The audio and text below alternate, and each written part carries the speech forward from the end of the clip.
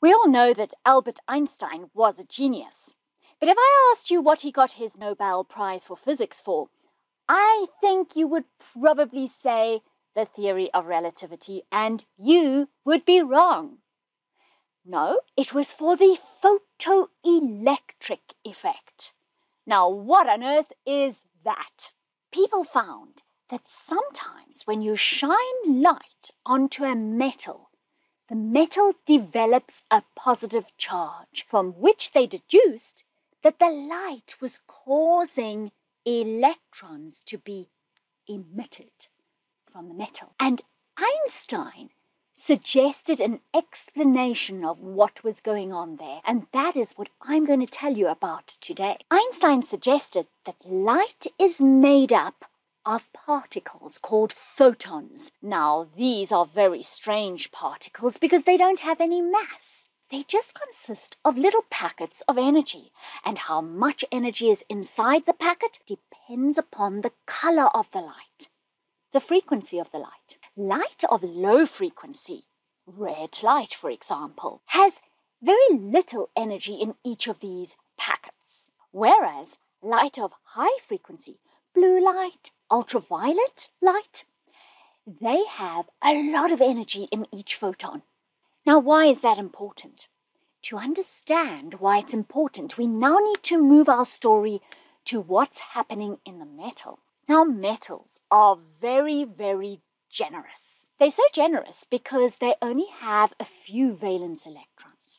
And if they could get rid of those valence electrons, that would reveal the noble gas configuration of their core, which is very stable. Metals react by donating electrons.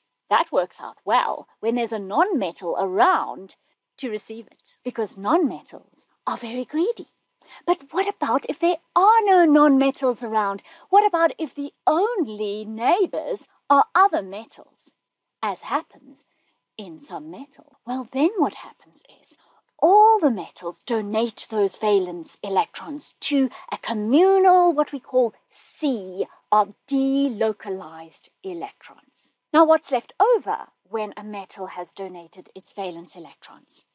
A positive kernel. It's positive because there are more protons in it than electrons, because the valence electrons have left. So these positive kernels consist of the nucleus and then the core shells of electrons. Positive and negative attract electrostatically. So these positive kernels attract the sea of delocalized electrons. So although these electrons that's in the sea are free to move to some extent, they're not completely free to leave the metal. They're held inside the metal by this electrostatic attraction between the positive kernels and them. So now, if these photons of light can give these electrons enough energy, then they could break free from that electrostatic attraction exerted by the positive kernels and be emitted.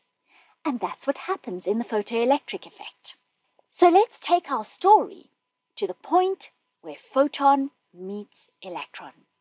The photons from the light strike the metal. Now, what Einstein proposed is that there's a law about how the transfer of energy from the photons to the electrons can occur. And that is one to one. Each photon has to give all its energy to one electron.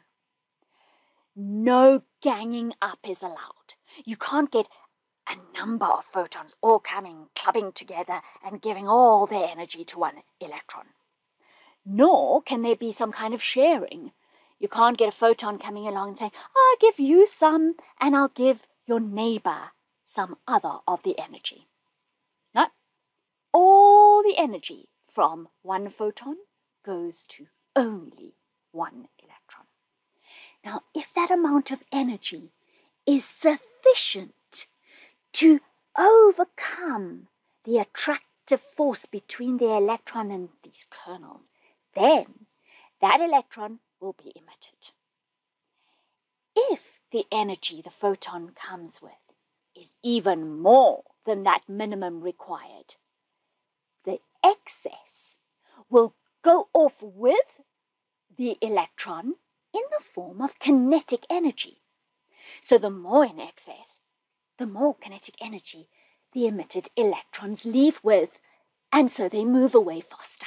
Now, the story is a little bit more complex than this because the electrons on the surface of the metal are obviously not held as tightly as those that are a bit deeper in, because those that are deeper in are obviously surrounded by these kernels, whereas those on the surface don't have the kernels on one edge. And so there's, there's less attractive force keeping them in. And so when a photon comes to a surface electron, then it doesn't need to give it that much energy to pull it away in comparison to if rather that photon goes a little deeper and donates its energy to a non-surface, a deeper electron. Then it would take more energy to break its bonds with the metal, and then there'd be less left over for kinetic energy. And that's why when you see a simulation of this, you see electrons being shot off at different speeds. And that's because the fastest ones are the surface ones. How do we even know whether photoelectric emission has occurred?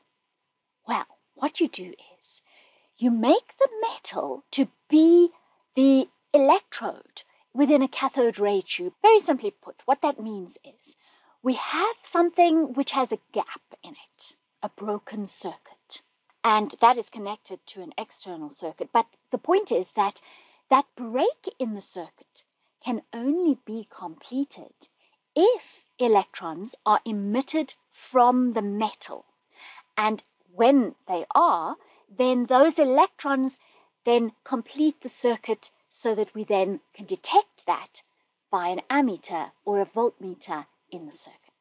So what we do is we shine light onto that electrode, that metal plate, and we change the properties of that light that we're shining onto it. So we would start off by shining, let's say, red light onto our metal surface. And we would see no current reading, no voltmeter reading. Mm, that means no photoelectric effect occurring. Those photons striking that metal don't have enough energy to overcome the work function of that particular metal. So what do we do? We increase the frequency of the light. Still no readings. Mm. Still no photoelectric effect.